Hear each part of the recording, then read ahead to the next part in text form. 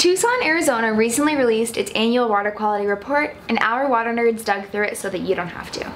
Unfortunately, we found some major problems with Tucson's drinking water. Chromium-6 is by far the biggest concern in Tucson's drinking water. Chromium-6 is a highly toxic metal that is currently unregulated by the EPA. Chromium-6 pollution is associated with metal processing, tannery facilities, chromate production, stainless steel welding, and pigment production. In this year's water quality report, concentrations of chromium-6 were detected as high as 94 parts per billion and averaged 4.72 parts per billion. These levels are nearly 4,700 times higher than the concentration determined to have a negligible impact on cancer risk. EPA has acknowledged that chromium-6 is a known human carcinogen through inhalation, but it's still determining its cancer potential through the ingestion of drinking water. Next is perfluorinated compounds. This year's water quality report for Tucson, Arizona included test data from two perfluorinated compounds, perfluorooctane sulfonic acid, or PFOS, and perfluoro-1-hexane sulfonic acid, PFHXS. Concentrations of PFOS were detected as high as 56 parts per trillion and averaged 28 parts per trillion.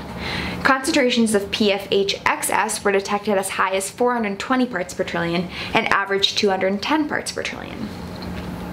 For a bit of perspective, the Agency of Toxic Substances and Disease Registry, or ATSDR, recently recommended setting a minimum risk level of 20 parts per billion for PFOS, but they are still researching the toxicity profile for PFHXS. These data from the ATSDR are preliminary and the effects to human health are still unknown. This category of chemicals are emerging contaminants, which means they are thought to pose a potential threat to human health and the environment, but haven't yet been regulated.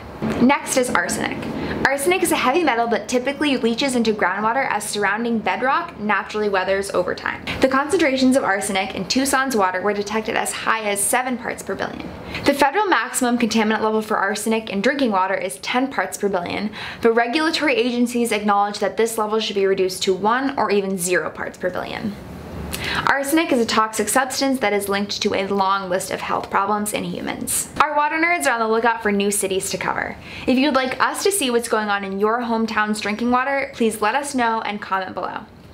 Also, if you have any questions about this report or anything water related, drop us a line at hello at or visit hydroviv.com and use our live chat feature.